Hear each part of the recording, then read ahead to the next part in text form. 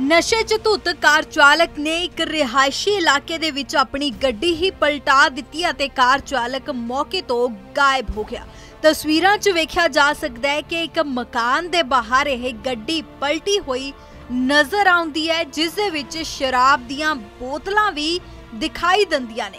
ਦਰਅਸਲ ਇਹ ਤਸਵੀਰਾਂ ਅੰਮ੍ਰਿਤਸਰ ਦੇ ਕਸ਼ਮੀਰੀ ਐਵਨਿਊ ਤੋਂ ਸਾਹਮਣੇ ਆਈਆਂ ਨੇ, ਜਿੱਥੇ ਗੱਡੀ ਪਲਟੀ ਹੋਈ ਨਜ਼ਰ ਆਈ ਗੱਡੀ ਦੇ ਹਾਲਾਤਾਂ ਤੋਂ ਪਤਾ ਲੱਗ ਸਕਦਾ ਹੈ ਕਿ ਡਰਾਈਵਰ ਨੇ ਸ਼ਰਾਬ ਪੀਤੀ ਹੋਈ ਸੀ ਤੇ ਗੱਡੀ ਦੇ ਅੰਦਰ ਤੋਂ ਵੀ ਸ਼ਰਾਬ ਦੀਆਂ ਬੋਤਲਾਂ ਦਿਖਾਈ ਦੇ ਰਹੀਆਂ ਨੇ। ਉੱਥੇ ਜਦੋਂ ਗਲੀ ਦੇ ਮੁਹੱਲਾ ਵਾਸੀਆਂ ਨਾਲ ਮੀਡੀਆ ਨੇ ਗੱਲਬਾਤ ਕੀਤੀ ਤਾਂ ਲੋਕਾਂ ਦਾ ਕਹਿਣਾ ਹੈ ਕਿ ਉਹਨਾਂ ਨੂੰ ਕੁਝ ਵੀ ਨਹੀਂ ਪਤਾ ਕਿ ਗੱਡੀ ਦਾ ਐਕਸੀਡੈਂਟ ਕਦੋਂ ਤੇ ਕਿਵੇਂ ਹੋਇਆ। ਤੇ ਜਦੋਂ ਉਹਨਾਂ ਨੇ ਸਵੇਰੇ ਘਰਾਂ ਤੋਂ ਬਾਹਰ ਆ ਕੇ ਵੇਖਿਆ ਤਾਂ ਗੱਡੀ ਘਰ ਦੇ ਬਾਹਰ ਪਲਟੀ ਹੋਈ ਸੀ ਤੇ ਅੰਦਰ ਕੋਈ ਵੀ ਮੌਜੂਦ ਨਹੀਂ ਸੀ।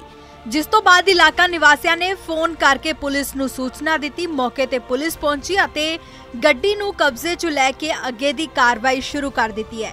ਜਾਣਕਾਰੀ ਇਹ ਵੀ ਸਾਹਮਣੇ ਆਈ ਕਿ ਇਨੋਵਾ ਦੇ ਵਿੱਚ ਟੱਕਰ ਤੋਂ ਬਾਅਦ ਇਹ ਕਾਰ ਪਲਟ ਗਈ ਪਰ ਇਸ ਗੱਡੀ ਦੇ ਵਿੱਚ ਕਾਰ ਦਾ ਡਰਾਈਵਰ ਜਾਂ ਕੋਈ ਹੋਰ ਮੌਜੂਦ ਨਹੀਂ ਸੀ। ਕਰਮ ਸਿੰਘ ਨਾਮ ਹੈ ਮੇਰਾ। ਹਾਂਜੀ। ਤੇ ਕਸ਼ਮੀਰ ਐਵਨਿਊ ਪੈਂਦੀ ਆ। ਹਾਂਜੀ। ਮੈਂ ਤੇ ਇੱਥੇ ਮੁਲਤਾਨੀ ਕਲੀਨਿਕ ਤੇ ਜੌਬ ਕਰਦਾ ਆ। ਹਾਂਜੀ।